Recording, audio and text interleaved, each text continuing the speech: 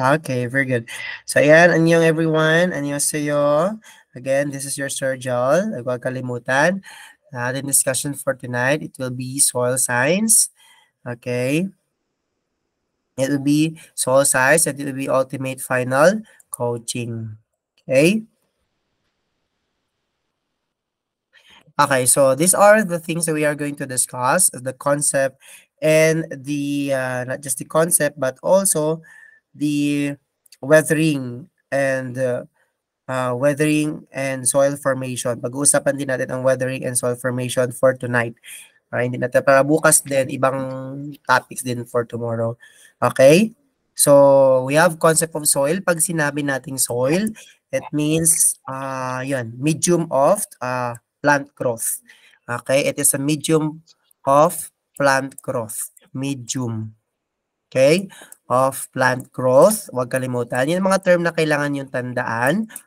And then, pag sinabi din natin soil, uh, it is a uh, natural body. Okay? Uh, plant growth. And then, we have uh, natural body. Okay? It is a natural body kasi nga, hindi yan kayang gawin ng tao. Pag hindi kayang gawin ng tao, is natural. Natural. Pag hindi kayang gawin ng tao, that is meaning non-renewable type of uh, resources. That is a non-renewable non-renewable resources. Okay? So, yan ang kailangan yung tandaan sa uh, soil science. Yan po ay laging lumalabas sa board exam. Okay? Pag sinabi naman soil, surface, it means it is in the term meaning upper limit of the soil. Ibig sabihin, upper limit, the surface of the soil or the upper limit of the soil. Yung pinaka-peak ng soil, that is what we call the upper limit of the soil. Upper, that is soil surface. Ganito, this is the soil surface. Here is the mga roots, mga microorganisms. So, ang tawag diyan sa ground na yan, diyan sa tataas, ang tawag diyan sa upper limit ay uh, soil surface. Okay? Now, there's a soil individual. So let's start first with the pedon. Pedon is also known as the basic, okay, basic sampling unit, okay?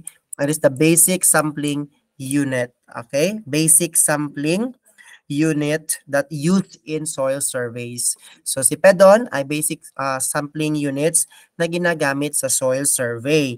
No, ano ba ang ano, ang measurement ni pedon? Ang measurement ni pedon is 1 to 10 square meter. Meaning, okay, it means that it is a hexagonal column.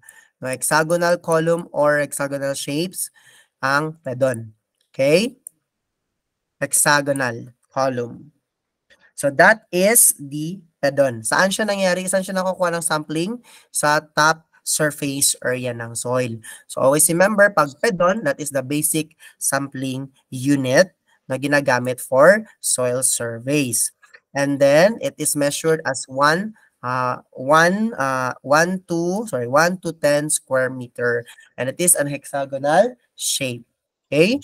And then we have polypedon. Pag sinabing polypedon, it is consists of or made up of multiple pedons. Ibig sabihin, madaming pedons or madaming basic uh, basic uh, basic sampling unit. Okay?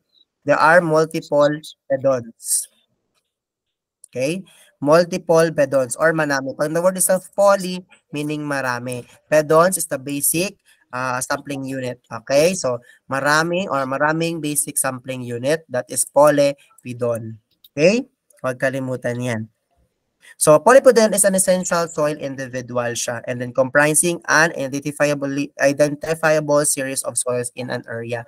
So yan ay tinatawag na polypodon. So maraming hexagonal uh, column of uh, yan, uh, used as basic sampling unit okay, sa soil survey. So there are also approaches in the study of soil, which is very important. We have pedological approach the edapological. Pedological from the word itself, pedon, meaning soil or earth. Okay, meaning soil or earth na pinag-uusapan only the soil. Okay? Pinag-uusapan ang soil, uh, only the soil. soil alone, alone okay? Ang principal interest ng characterization ng soil or soil. Okay, soil tuloy. And edaphological, okay, edaphological approach from the word itself, edap, okay, from the word itself, edap, meaning, okay, meaning soil or ground. Yung pinag-usapan. Meaning soil or ground. It is the study of the soils with emphasis with uh, on the particular use. Meaning, uh, uh, starting from the soil to hop to higher plants, ang pinag-uusapan ng edaphological. Okay? Soil to higher plants. While pedological, ang pinag-uusapan is the soil alone. Okay? So that is the study. Study of soil alone, that is pedological.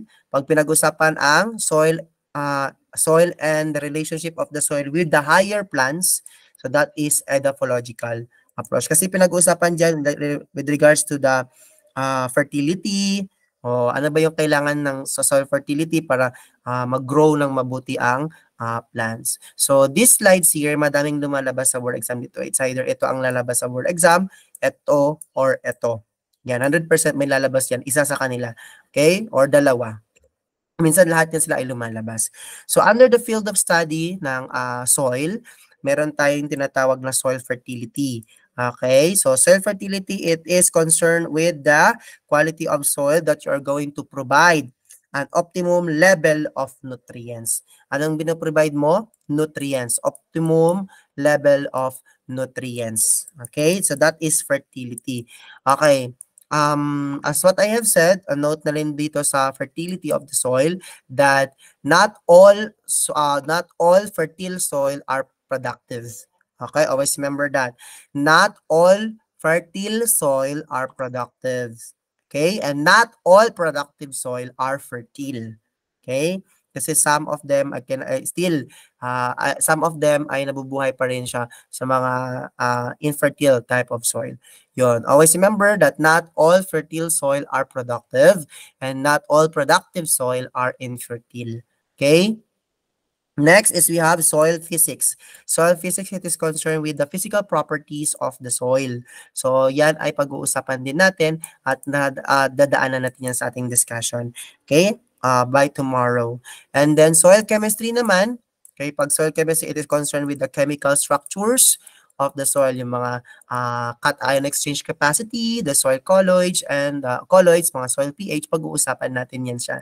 No? The, the chemical structures of the soil. So that, this will, will be discussed on the last minute review. Kasi nga, ito yung part na medyo tricky at madali yung makalimutan. So i-include ko na din sa um, sa soil chem ang nitrogen cycle, uh, the carbon and nitrogen ratio. Ah, Madidiscuss ko pala yan siya. Uh, so madidiscuss ko yung carbon and nitrogen cycle sa chemical structural. Okay, or the chemical or the soil chemistry. Matatackle ko pala yan.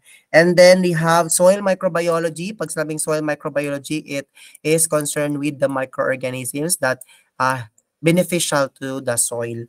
Okay, microorganisms that are beneficial to the soil. And also, we will discuss about soil conservation and the management. Okay?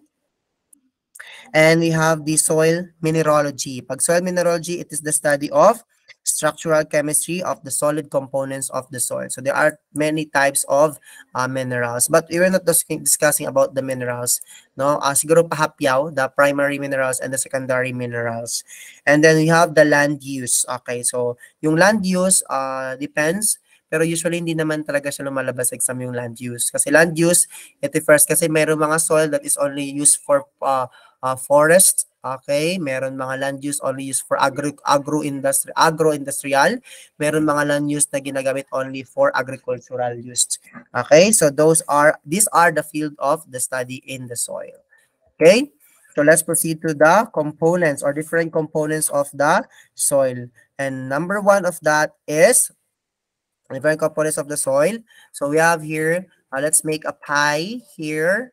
the we have the soil uh, solids and the soil are the pore spaces. So we have the soil solids, okay? Soil solids and the pore spaces. Anong pore spaces? Yung mga butas-butas sa soil. Yon, soil tuloy. Okay, so example, if this is the pie here and it is divided into Ganyan. And then ganyan. Okay. So here, uh, the same, no? Uh, and we have the same percentage, 25% and 25%. So we have here the soil, air, and the soil water. So soil, air, and soil water are, or uh, dumadaan po sila sa pore spaces. Sa pore spaces po sila dumadaan. Okay? So saan sila dumadaan? Sa pore spaces. Meaning, the pore spaces consist of soil, air, and the soil water. Always remember na ang kanilang percentage is 25% and 25%. Soil, air is 25% and soil, water is 25%. And always remember, kung ano po, kung saan po dumadaan si soil, water, hindi po dyan, hindi na po dumadaan dyan si soil, air. Kung saan po dumadaan sa si soil air, hindi din po dyan dumadaan si soil water. Nagets ninyo? So kasi po, it is already been a barriers or meron parang boundary na siya na hindi na siya pwedeng pumasok kasi nga it is already occupied by soil air and soil water. So that is a need ng ating soil at saka ng ating plant. Okay? And we have also soil solid, which is the mineral matter and the organic matter. Mineral matter contains the largest or the greatest percentage in the earth crust, and that is 45% and we have 5% of organic matter. So in the mineral matter, so we have mineral matter here. So we have actually um, um, primary minerals and secondary minerals. So there are a lot of minerals that we are going to discuss in organic matters. That also one of the reason why there is a rocks. Rocks defined as the aggregates of inorganic matter. Okay? And we have organic matters. So we will discuss also the uh, undecomposed, well decom uh, undecomposed, slightly decomposed, and well decomposed. And there are also organic substances that are acidic. We have filsic, mis, uh, uh filsic, if you can still remember that, yung the highest um, um, uh, organic acid. Yun. So, yun. So, that is organic. So, sa organic matter, kasama na po dyan yung microorganisms that are helpful to make the soil organic. So, that is 5% in the earth crust. Okay? Okay. So, ano nga ba yung pinagkaiba ng soil air sa ni soil air? Ano pinagkaiba ng soil air sa ating atmospheric air at saka sa uh, soil air, sa soil talaga. Soil air. Ano pinagkaiba ng soil air sa atmospheric air? Okay? Pag so when it comes to oxygen, okay, when it comes to oxygen, syempre, ang kailangan kasi ng tao ay oxygen. So meaning, uh, in atmospheric air, the oxygen is higher. Kung i-compare natin sa soil air. Sa soil air kasi, example, this is the soil surface. Tapos sa baba, di ba, pag nilibing ka, hindi, hindi ka nakakahinga. Because there's no, there's a less or lower oxygen. Kasi hindi ka nakakahinga because there's only lower oxygen. Okay? Pag uh, sa carbon dioxide naman, okay, pag carbon dioxide, mas mataas ang ang soil air. Okay? Kasi kailangan nyo ng plant. So, higher ang soil air kung ikumpara natin sa atmospheric air. Kasi ang tao, or lower siya sa atmospheric air. Kasi ang tao, mas kailangan kasi ang oxygen kung ikumpara sa carbon dioxide. So, ibig sabihin sa soil air dito, mas marami, as mas abundant ang carbon dioxide kung ikumpara sa oxygen. Okay? Pagdating naman sa nitrogen, okay, nitrogen, ang pinaka, yon ang pinaka higher, uh, so the higher among the, uh, between the two is the atmospheric air. Can you still remember the nitrogen cycle, which is the blue Baymax? Okay, ilang percentage nga ba si nitrogen cycle sa atmospheric air? Who can answer? 78. Ilan? 78. Oh, 78? it's 78%. Okay, nitrogen in the uh, atmospheric air is 78%. Yon. So that's why higher siya sa atmospheric air kung ikumpara natin sa soil air. Okay? So yan, yan po ang ang kailangan ninyong tandaan. Okay? Yan po ang kailangan tandaan sa concept of soil. So concept of soil may lumalabas po talaga sa board exam yan. So kaya diniscuss ko siya ng ganito para mas maintindihan. Nagets niyo po yan? Okay. Hopefully, na-gets nyo yan kasi lumalabas talaga yan sa board exam. Pag hindi nyo na-gets, you can go back to the video and watch it again. Okay? So, next is we have the rocks. Okay, always remember that rocks is composed of aggregate minerals. Okay? Aggregate. Anong ibig sabihin ng aggregates? Ibig sabihin yung pinag, pinagsama-samang mga maliliit na, yan, mga maliliit. Yan. Example, ito. bato ba ganyan, ganyan, ganyan. Di ba ang bato, bago siya naging bato as in whole, meron niya siya mga maliliit, liit, liit, liit na mga parte. Ibig sabihin, it is pinagsama. So that is aggregate pinagsama, kinombine yung mga maliliit na mga minerals. Kinombine ng mga maliliit na minerals, syempre, meron yan parang glue. 'Di ba? Yung para para magdikit siya para magbuo. Yung glue ay tinatawag nating flocculation. Okay? Flocculation. Flocculation. Ito lumabas sa board exam din to. Yung parang glue siya na nagdidikit sa mga aggregate minerals, ang tawag po doon ay flocculations. Okay? And we have also petrology. Petrology, it is the study of rocks. It is the study of rocks. Okay? So that is petrology. Always remember, it is the study of rocks. Petro meaning rocks. Okay, so study of rocks. Okay, and there are three general classifications of rocks. Okay, what are those? We have um, igneous rocks. Okay, we have igneous, sorry, ito na lang. We have igneous rocks. Okay. The triangle natin para ano na lang siya para mabala, malaman ninyo yung ano yung formation niya. So we have igneous rocks. Okay? And metamorphic rocks. Okay? And then sedimentary rocks. Okay. Always remember, makinig mabuti, igneous rocks, it is the mother, mother of all rocks, parent of all rocks ancestors of all rocks, the beginning of all rocks is the igneous rocks that is coming from volcanic eruption. Okay, so that is igneous rocks. Always remember that. Okay? Pag sinabi natin metamorphic rocks, it is need of the a higher temperature. Okay? Heat and higher temperature or also known as metamorphism. Okay? Ang term niya is metamorphism. And we have also sedimentary rocks that can be found in Saan ba can be found ang ang uh, sedimentary rocks? Sedimentary rocks can be found in sa mga ocean, river, ganon. Sa mga po, uh, mga fossils, yon sa fossils. Meron yan. So, sedimentary rocks are formed uh, from other existing rocks. Okay? Kasi meron yung mga, are you familiar with fossils? Yon Yung mga dead body ay natatrap doon sa isang aggregate uh, aggregate minerals. So that is example of sedimentary rocks that is actually transported transported by water. Meron yan sa shore, sa ocean, sa river, yung mga ganun. So as long as it's water, it means water that is sedimentary rocks. Okay? Always remember that. Now, let's go to the process how this igneous rocks becomes metamorphic rocks and how metamorphic rocks become sedimentary rocks and sedimentary rocks become igneous rocks. Okay? Uh, let's start first with the igneous rocks because this is the parent and the mother, ancestors, and the beginning of all rocks. Okay?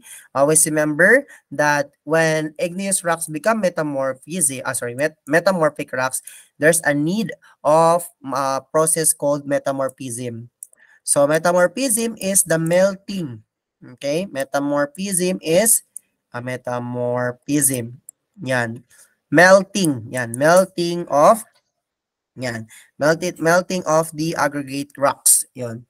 Or rocks, melting of rocks. That is uh, known process called metamorphism. Heating or higher temperature.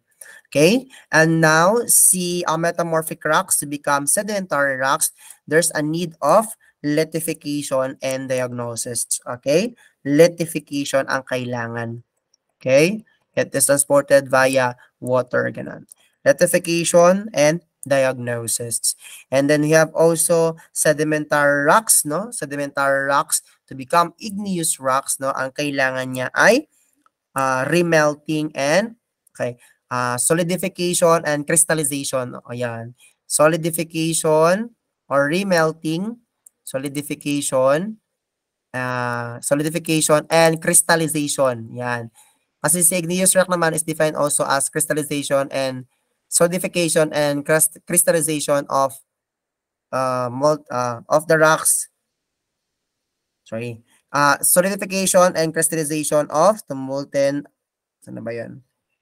Uh, define siya as, yan, Uh, it is original rocks formed by the solidification and crystallization of molten magma. Sa igneous rocks ha, It is the solidification and crystallization of the molten magma.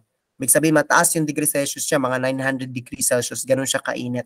Okay, always remember that, ang lumabas sa exam was magma. Ang lumabas sa exam, twice siya tinanong sa board exam last year. Okay, every year talaga lumalabas yan dyan. So, solidification and crystallization of blank, that is magma. Okay, so that is coming from the igneous rocks. Okay, and also, igneous rocks to become sedimentary rocks, there's a need a process called lithification. Okay, lithification, lithification, and diagnosis. Okay, there's a process called lithification in the igneous become sedimentary rocks. And sedimentary rocks become metamorphic rocks. There is a process called metamorphism. Okay, metamorphism or uh, higher or melting. Yan, melting melting and uh, higher temperature also.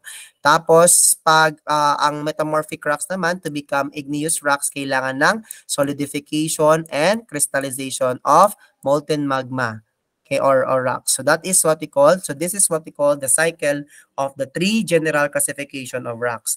Uh, igneous, sedimentary, and metamorphic rocks. Okay? Did you get it? Did you get it?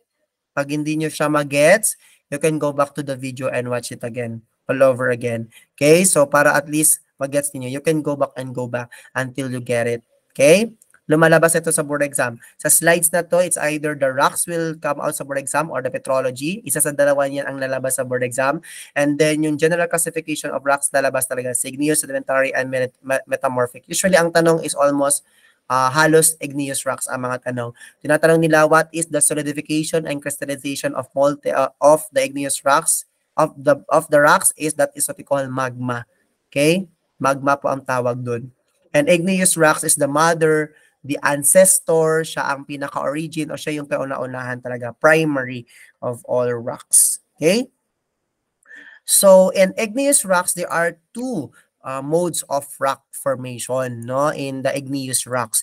We have extrusive at saka si intrusive. Okay, extrusive at saka si intrusive igneous rocks. Sino ba yan sila?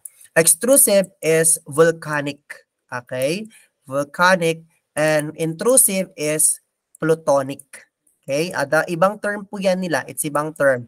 Bakit siya volcanic? Extrusive, ibig sabihin, vulkan yan, ibig sabihin, lumabas na yung magma at siya nagiba, naging paglabas na naging magma yan, uh, naging, naging lava na. So, pag natamaan na ng air, magkakaroon na ng rock formation. Intrusive, intrusive plutonic, ibig sabihin sa loob yan siya ng volcano. Dito sa loob, there's a spaces there no, where the uh, magma is uh, stored and then yun, nagbumuo siya ng rocks. So, plutonic po ang tawag dyan. Always remember, pagdating sa characteristics, morphological, morphological or physical characteristics ng rocks sa extrusive, it is a fine grain. Okay? It is a fine grain rocks. Okay? It is a fine grain rocks. Fine grain rocks. Pag intrusive naman, plutonic, coarse. Okay, or rough type coarse or rough type grain na uh, yan, rocks. Okay? So, yan ang dapat yung tandaan. That is the texture. This is the texture of this mode of uh, rock formation. The texture of extrusive and the texture of intrusive rocks. Okay?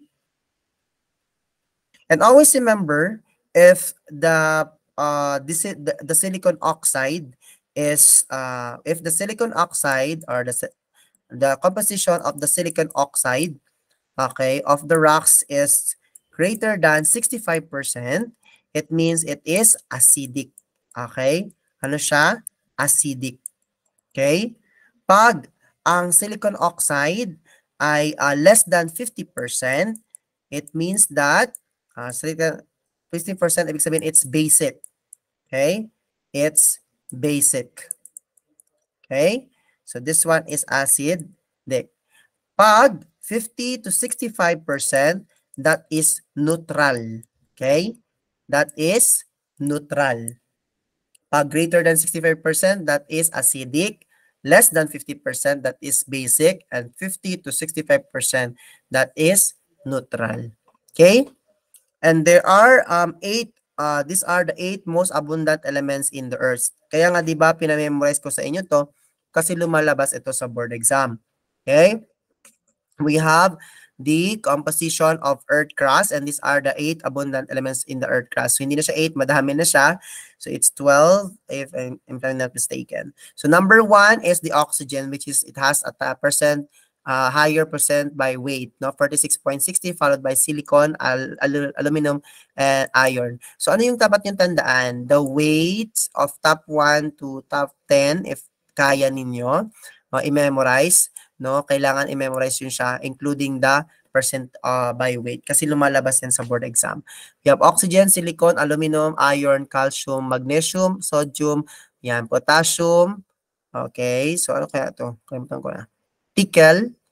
Ah, uh, nickel ba to? Nickel? Ay, dito nickel. Ah, hindi ko na alam ano yan. Okay, so di ko alam ano yung TI. Potassium, hydrogen, phosphorus, manganese, and uh, Baka N, ayan, nickel. And then sulfur. Okay, so yun ang kailangan ninyong tandaan. Kasi lumalabas sa board exam. Minsan lumalabas sa board exam, um, ano oh, i-arrange nyo sila from higher to lower. Yun. So yun, oxygen, silicon, aluminum. Top 1 ang oxygen. Siya ang pinaka-highest na uh, compos- uh, abundant elements in the earth. Okay? And next is we have the mineral. Okay? Mineral is what we call a naturally occurring inorganic substances. Always remember, pag mineral ang pinag-usapan, inorganic na agad yan. Okay? That is inorganic. It's because it composes a lot of uh, minerals. Okay? Inorganic na agad yan. Ang lagay natin ilagay sa isipan natin. Okay? And it is also, mineral is considered as the building block of rocks. Kasi nga, di ba, ang rocks is made up of aggregates mineral. Okay? So we have building blocks of rocks. Mineral is considered as the building blocks of rocks. And mineralogy is the study of study of mineral. Okay? Study, logy is study, and mineral. So this is the study of mineral and their properties. Okay? So there are two classification of minerals. We have primary mineral and we have also secondary mineral. Always remember that primary mineral, it is persists in the soil in their original, original state due to high resistance to decomposition. So always remember that about uh, primary minerals. Okay, ang primary minerals are, example dito, igneous, no? Kasi dito naman sila nagsimula lahat sa igneous rocks, okay? Igneous rocks, ang primary minerals are substances that form from primary igneous rocks via original crystallization. So from igneous rocks going into primary minerals. Okay? So in the primary minerals, since it is directly from the crystallization of magma, ang primary minerals, it means it occurs in the soil. It occurs in the soil but not form in the soil. Oh, it occurs lang ha in the soil but not form in the soil. Yun, magkaiba po yung occur sa form. Okay? And what are the example of primary minerals? Quartz. Example of primary minerals. Feldspar. Okay, lumalabas din yung feldspar. Muscovite, granite, and other uh, minerals, primary minerals. Now, primary minerals, we have the secondary minerals. Secondary minerals cannot be, okay, secondary minerals are substances that form from the alteration of primary minerals. Okay, the secondary minerals cannot be made without primary minerals. So para magkaroon ng secondary minerals, kailangan meron siyang um, alteration sa primary minerals. Exam, okay, so always remember that the formation of the secondary minerals are larger, larger than the average size. Okay, it's larger than the average size ang secondary mineral. And it also found and form, no? Found and form in the soil. Found and form in the soil. Kung ito ang primary minerals, it is occurs in the soil but not form in the soil. While secondary minerals, it is found and form in the soil. So what are example of secondary minerals? So we have shale, slate, clay, limestone, dolomite, yon gypsum. Those are example of secondary mineral. Okay? Yan, lumalabas din sa exam ha, huwag kalimutan. And then we have, oh, this one is the primary minerals, which is, which one is the hardest? Okay, the hardest. So we have number one, the hardest is the talc. Talc is the hardest, uh, sorry, a very soft, sorry. the most hardest, the hardest mineral, primary mineral is the diamond. Okay, it is the diamond. Ang pinaka-soft is si talc. Talc is very soft and easily scratched by fingernail. Madali lang siya, scratched by fingernail. And ang pangalawang soft ay gypsum. Okay, soft, just barely scratched by nail. Okay, basta ang pinaka, okay, ang pinaka matigas, okay, very hard, and no common tool can measure this hardness is the diamond. Okay, the diamond is the hardest among all the primary minerals. So, ang quartz dyan po ay, ibig sabihin, pang-apat sa pinakamatigas. Yun. Okay, so there are two types of weathering of rocks and minerals. Okay, two types of weathering of rocks and minerals. We have physical and chemical. Okay, always remember that. We have physical and chemical. Pag sinabing physical, ito yung breaking up of rocks and minerals into smaller pieces without drastic alteration or without chemical composition. So without synthetic or chemical comp composition, no, nagbe-breakdown lang sarili niya si rocks because of the uh, factors no affecting it. So that is a okay, that is a uh, what we call the uh, physical minerals. So always remember, okay, pag physical minerals, no, it is breaking up of rocks Okay, and then without any drastic alteration of their chemical alteration of their chemical compounds. So that is what we call a physical weathering. Okay, natandaan nyo na? Ayan. So fully natandaan nyo na yan kasi that's very important.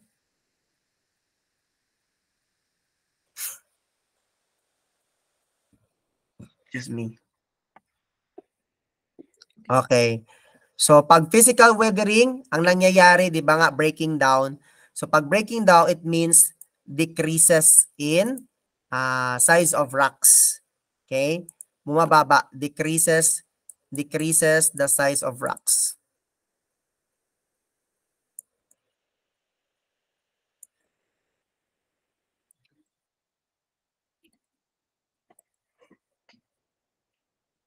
Ano ba yan? And we have chemical. Gusto na matulog isa. And we have chemical. It involves the change in the chemical structure. So meron na siyang chemical structure in the chemical weathering. Okay? So pag sinabing chemical weathering, there is a change in the chemical composition. So merong changes sa chemical composition from the word self-chemical. So there are actually types of chemical weathering. So number one is hydrolysis. Okay, hydrolysis. Ano ibig sabihin ng hydrolysis? Okay, makinig. Ang hydrolysis from the word itself, water lang syempre, no? Meron pong niyang reaction ng water. Okay? May reaction siya ng water but leads to or resulting to destruction of the original chemical structure. Ibig sabihin, meron siyang interaction ng water pero it resulted to destruction, destructions ng chemical structure. Okay? Yun ang hydrolysis. Okay? Ang hydration naman, water pa rin, from the word itself, hydra, water pa rin po yan.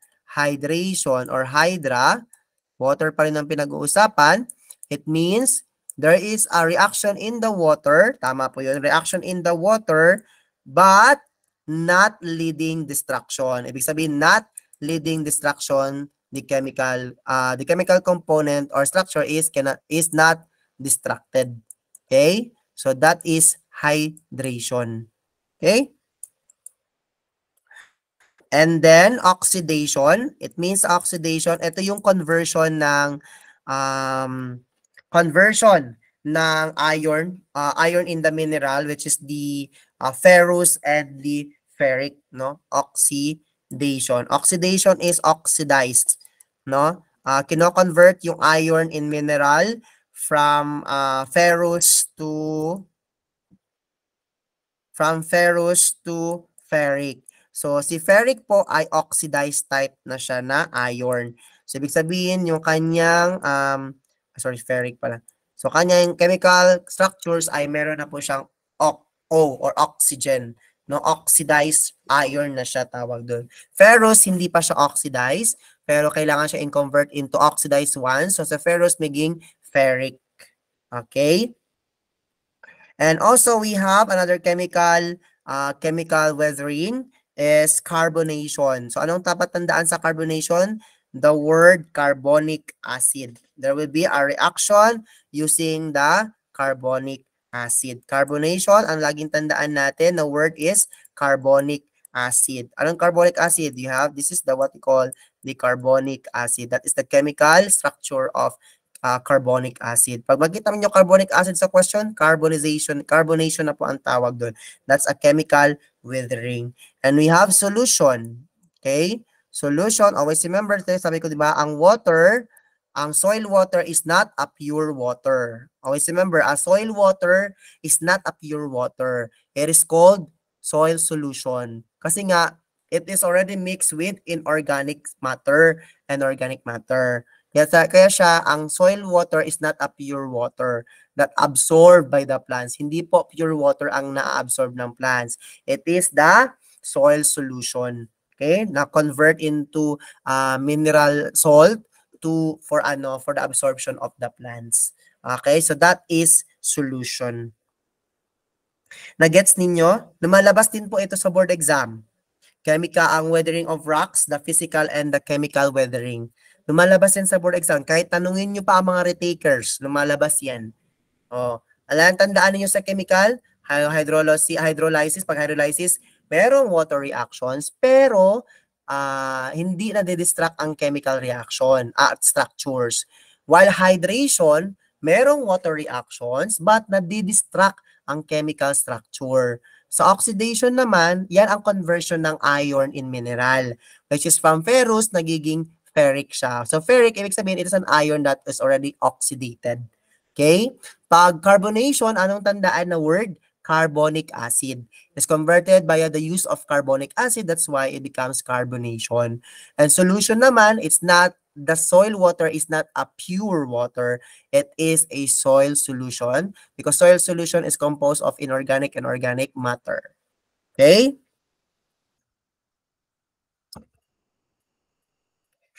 Next. So, there are stages of soil formation. Di ba? Pinag-usapan na natin yung physical weathering, chemical weathering. So, the first stage is the physical weathering. So, ano ang trabaho ng physical weathering? Di ba ang physical weathering is uh, binababa niya, uh, nire-reduce niya yung size. Di ba? Reducing sizes ang trabaho ng physical weathering.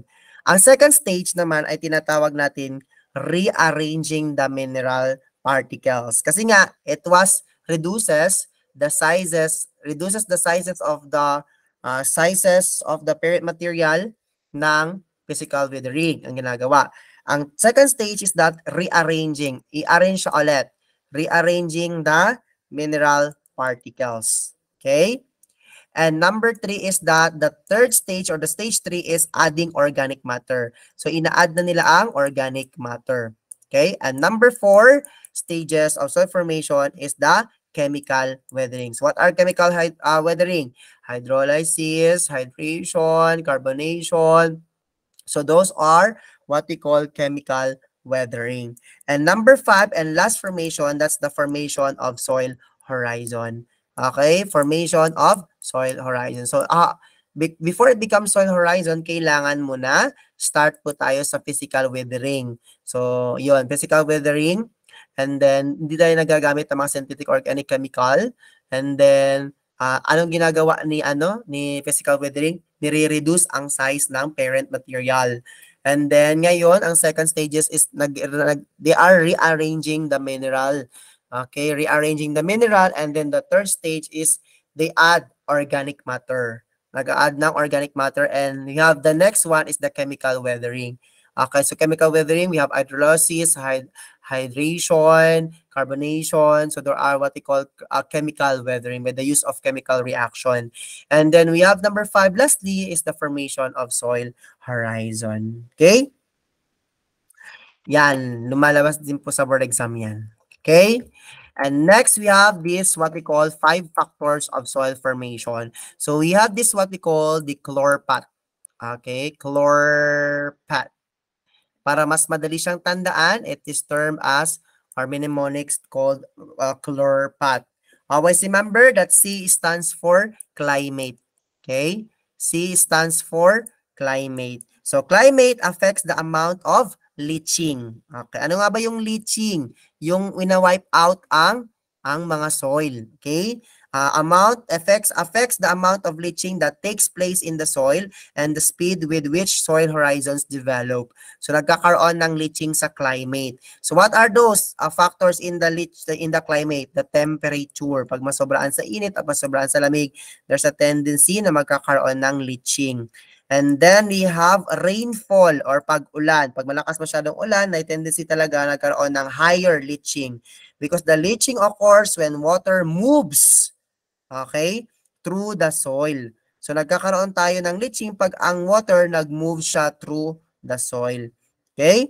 And then, so that is for climate. And LO stands for living organisms. Okay, so what are those the living organisms that are beneficial to the uh, to the soil? So we have bacteria, uh, fungus, yun. Those are uh, beneficial to living organism. And also, it is also called as a bioturbation. Uh, in living organism, there is also known as the word bioturbation. Okay? Bioturbation. Magkaiba po sila. Magkaiba po sila ni magkaiba po sila ni pedoturbation ba 'yon? Magkaiba po sila. Si bioturbation from the word itself bio, it is uh, uh, mixing. Ang sino nagmi-mix dito? Si soil organism. The mixing of the soil via by the works of microorganism. Ang tawag doon ay bioturbation. Okay? And R is relief or topography. Pag sinabing relief or topography, it is referring to the slope or the landscape of the land. Okay? Referring to the slope, it's either step slope siya, flat lowlands or flat slope siya. Pag sinabing step slope, ibig sabihin po pag ganyan, oh, pag ganyan. Pag sinabing flat slope, ganyan. Okay?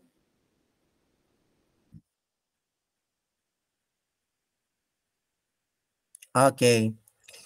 And then we have parent material. Parent material, so there's a lot of parent material that uh, transforming or transporting, sorry, parent material that transporting the soils from its origin to another. Okay, so pag sabing parent material, ito yung partly weathered mineral or organic debris. So there are two general classification of parent material. We have residual or sedentary, residual or sedent or sedentary, and the transported. Okay? Pag sinabing uh, residual or sedentary, meaning those that develop in place and form the rock below where it is found. Ibig sabihin, nas, nasa within its place lang. Nasa ano niya lang, nasa place niya lang, nasa position niya lang din siya. Okay, so that is residual or um, uh, sedentary. Ibig sabihin, nag-change siya no, within its place. While transported, no, pag transported, it means those which are transported by various agents and deposited in other sites where they form the soil. Pag transported, ibig sabihin, uh, nagta-transform from uh, here to other. Parang tinatawag migration. Okay, parang migration. From each place to other place, transported. So we have known alluvium. Okay, alluvium. Alluvium is a transportation through rivers or streams. Uh, Uh, it is the transportation of the soil through rivers and streams. Lacustrine naman, okay, lacustrine is for lake waters. Okay, transportation of the soil uh, lake waters, through lake waters. And we have marine sa sea or oceans. Okay, oceans. Okay, and we have glacial, glacial till, glacial till or, or moraine. Okay, or moraine po. Okay, it is transported via or transported by ice. Okay, and we have uh, Iolian.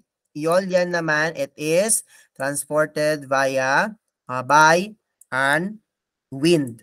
Uh, by a wind. Okay? Or carry deposited by the wind.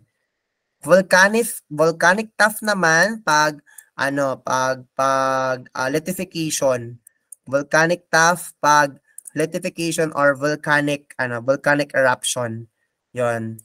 Pag untransported is via volcanic uh, eruption that is volcanic tuff. Volcanic eruption. And then we have colluvium via uh, gravity. Okay, colluvium via gravity. Transported by gravity. So, ito po yung mga parent material na lumalabas sa board exams na kailangan ninyong alamin. Okay. So, we have also time or known as time zero. Kailan ba nagsimula? Saan ba nagsimula si soil? Ganon ang pinag-uusapan. Always remember, pag a young soil has minimum soil oil development and few horizon. No? Ang mga young soil has only minimal soil development and few horizons. So that is at time. Ang time po, yan po pinag-uusapan kung ano po yung age ng, ano na ba yung age ng soil. Okay? It is talking about the age of the soils or the length of time in years, no? In the land surface na nabibigam siya stable, na stable siya.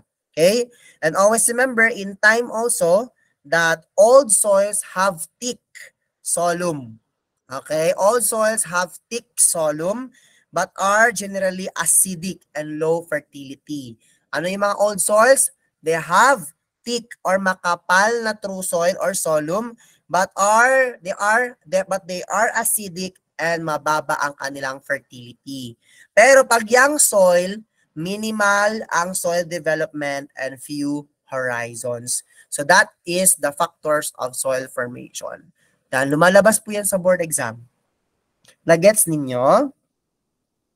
Lumalabas yan sa board exam. Simplify ko na lang siya ng ganyan para mas maintindihan ninyo. Okay? Pag hindi maintindihan nyo, go back to the video and then yun.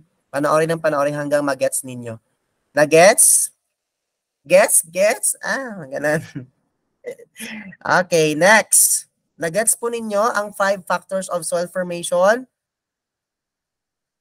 Okay, very good. So at least naintindihan ninyo ang five factors of soil formation. And now let's proceed to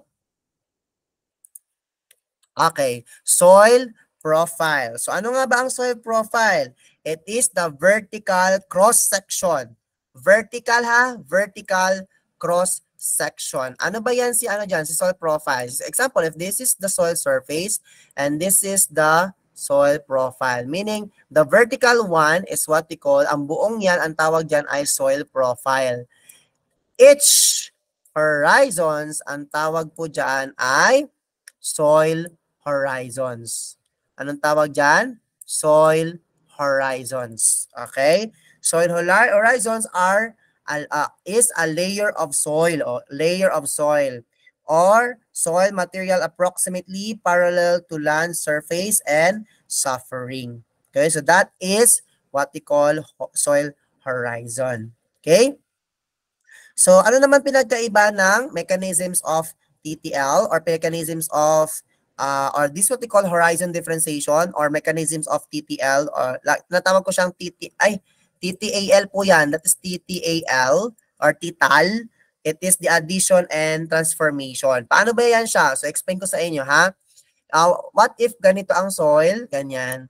So, from from from the from the peak, from the summit to summit, this is the summit here, and this is the steep step soil, step soil, and this is the flat soil, okay? So, from the top, no, Okay? So, nalul nalulos or nalulos ang L. Start sa L. Nalulos ang soil because of the leaching.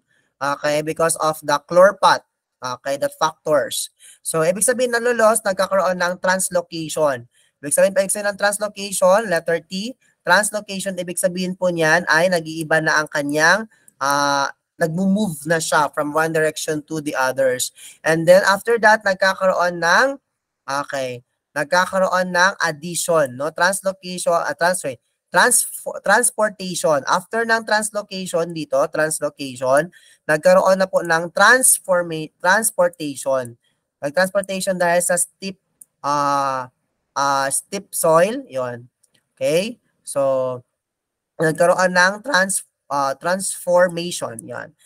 Transfer, transportation pa, transport, sorry, transportation. Yan. Loss, uh, translocation, transportation sa steep soil. And then pagdating sa baba, sa baba naman, uh, dito sa baba, nagkaroon na ng addition. Okay? So, sa flat slope, nagkaroon na ng addition. Ulitin ko, ito ang mechanism of tital. Okay? Loss, is sino ang na, nawawalan si summit, nawawalan si summit sa taas because of the leaching or other factors, okay, of weathering and soil formation. Tapos, uh, nagkaroon na ng translocation or pagbabago ng places from, uh, from its places to the other. And then, nagkaroon ng transportation via it's either, uh, ano uh, transportation? Sa may glacial, ganon, air, air lang, ganon, lacustrine, ganon. Example yun ng alien. So, example yun ng apparent material or transportation. So therefore, sa baba, kasi nga nadagdagan kasi galing sa taas, nadagdagan, that is addition already in the flat slope. Okay? Addition na po yan. So what is addition or the mechanism of addition and transportation? What is the mechanism? Actually, there are three mechanisms. We have the enrichment, the me melanization, and cumulization. Cumulization. Okay, yan ay lumalabas sa exam din. And we have melanization. Melanization. And we have enrichment.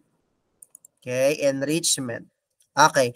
Pag sinabing enrichment from the word itself, di ba pag mataba ang isang tao, kahit, kahit ano-ano na lang ang kinakain, right? Ganon din po ang enrichment. The general term of enrichment for the addition of any material to the soil body additional po ng any material. Okay, additional of any material. Additional of any material. Okay?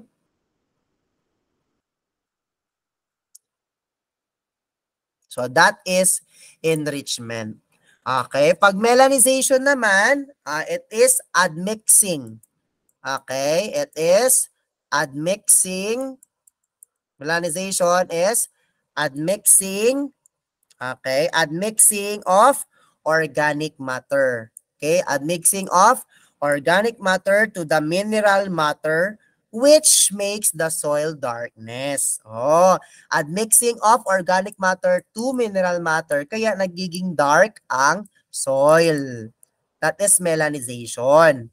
Okay, next is cumulization. Cumulization That is addition of mineral matter. Additional po ng mineral matter through wind, no? Via wind and water to the soil body. So that is the addition and transportation. Ulitin ko, enrichment meaning additional of all any material. Soil material uh, in the soil body, uh, to the soil body. So that is enrichment, any, all additional siya. Melanization, ito yung admixing. Kumaga, nag-add ka tapos minimix ang organic mat uh, organic matter or organic material to the mineral matter. So, ang mangyari, since dinagdag ang organic material sa mineral matter, magiging dark ang soil.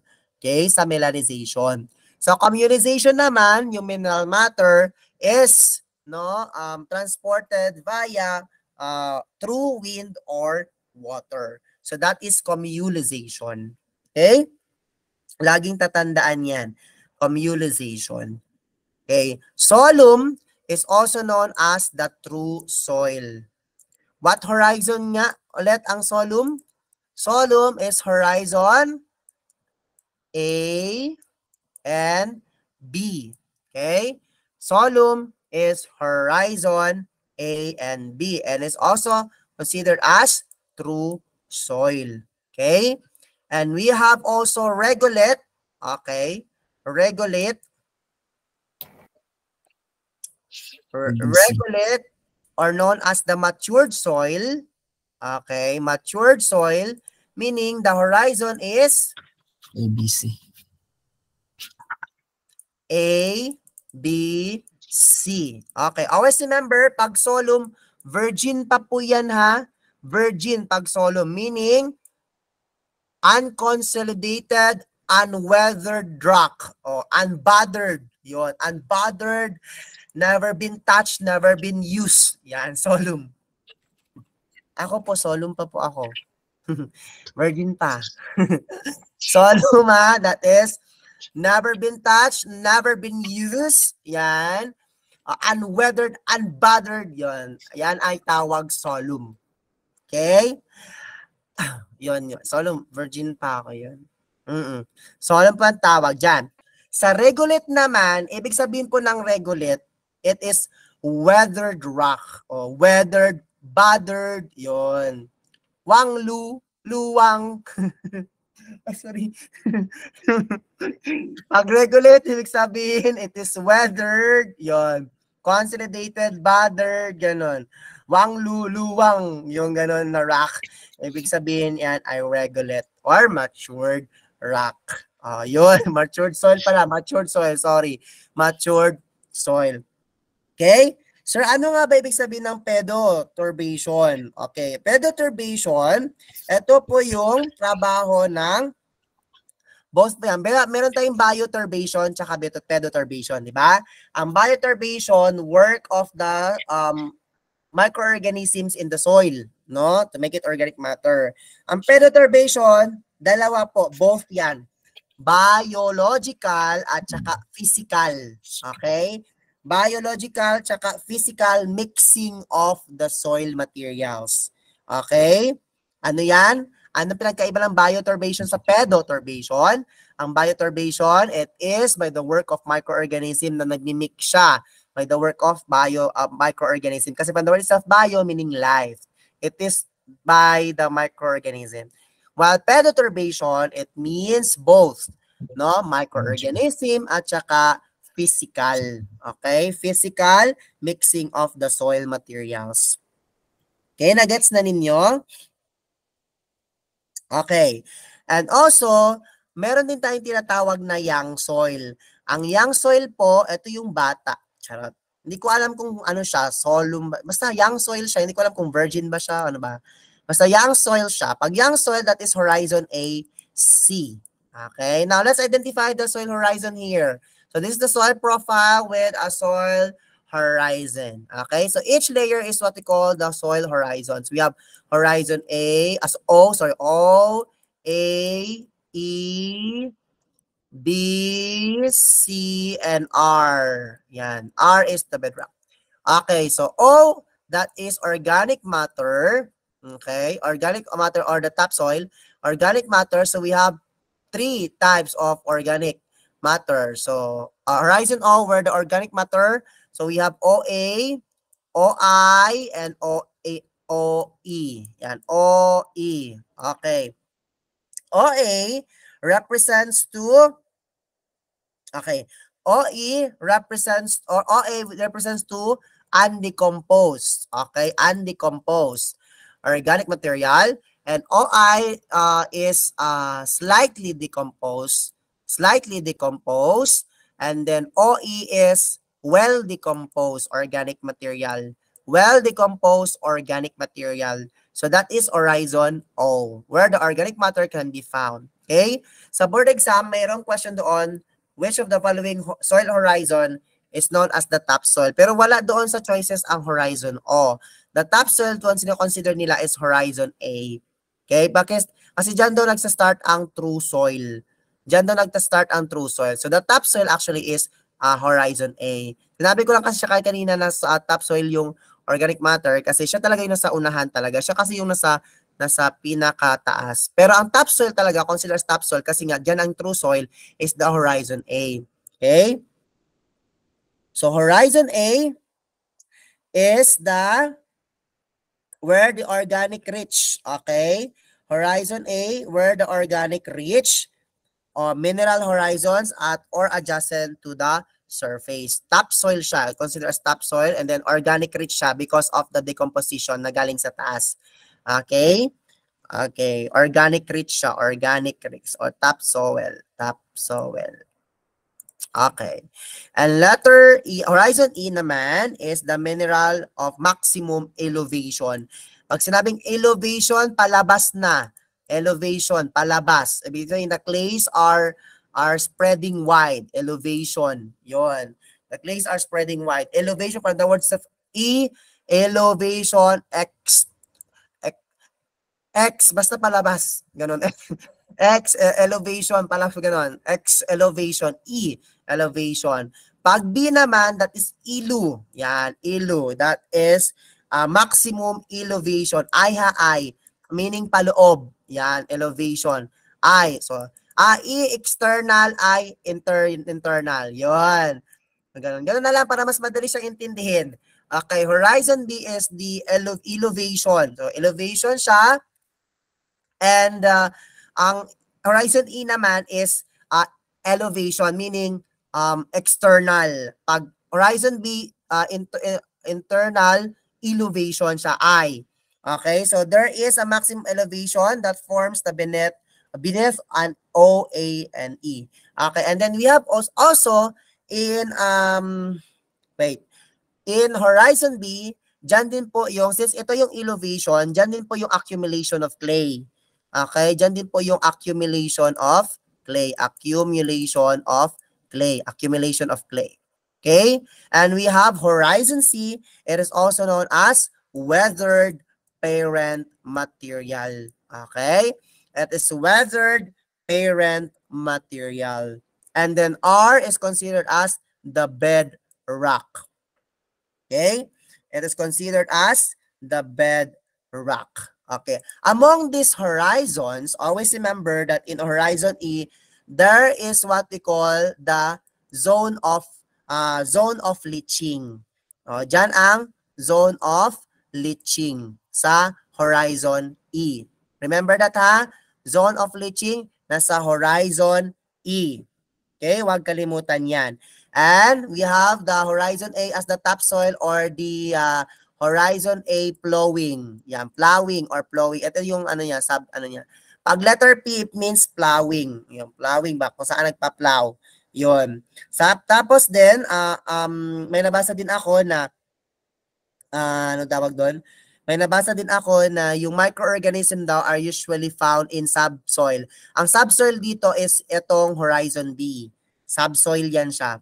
So, that is a subsoil. So, dyan daw usually ang mga microorganisms. Okay? Dyan daw usually ang mga microorganisms. Dapat hindi siya mabadol. Diba? Kaya nga, di ba, pag nagko-cultivate tayo, wag masyadong malalim. Ganun.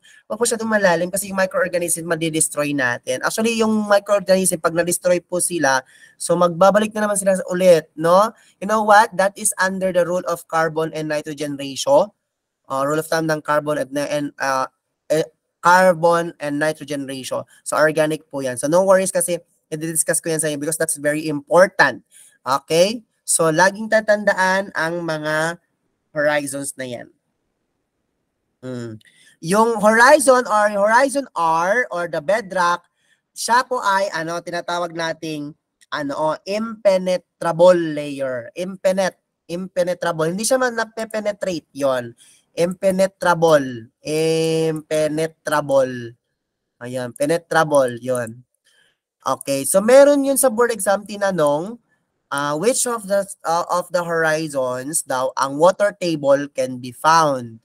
Saan daw doon sa ano sa horizons na yan, ang water table can be found. No, honestly, the water table can be found in the layer, uh, the horizon layer of bedrock. Diyan po ang uh, wa- dyan po yung water table talaga. Okay, di ba kaya nga kailangan uh, pag nagpapadip well tayo, nung sinasabi nila na reach na daw nila yung water table, it means they already reached the bedrock.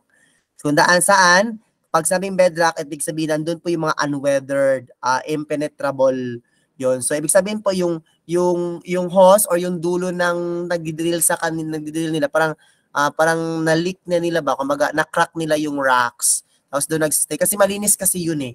Yung yung water doon po ay hindi na uubos. Kasi nga water table yun. Okay? Nagets ninyo? Pag ano, pag merong ano, pag mataas ang siguro ang ang dagat, may tendency pag high tide, siguro mataas yung water table umaabot siya ng horizon sea. No? Pero ang unstable po talaga is nasa bedrock. Okay, na-gets na ninyo? Oh, yan lang muna ang discussion natin sa soil science ha ngayon and tomorrow we will be discussing about physical properties and soil microorganisms. Naintindihan ninyo, di ba madali lang ang soils? Actually, soil science is the number one that will pull you up Mm-mm.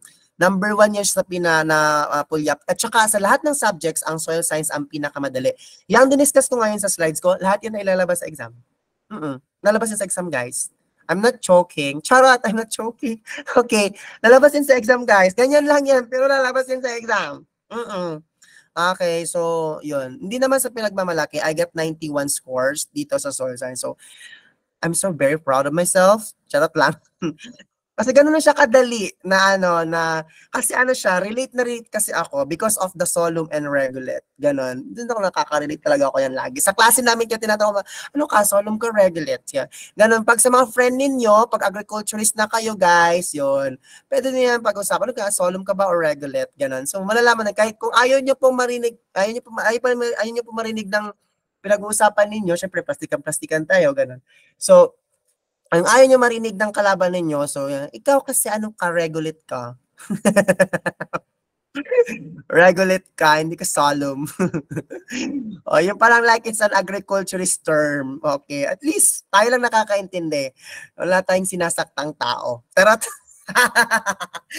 Wala tayong sinasaktan tao. Mas maganda na yung mga tao hindi nakakaintindi sa sinasabi natin. Hindi sila sasaktan. Yon, tayo lang nakakaalam.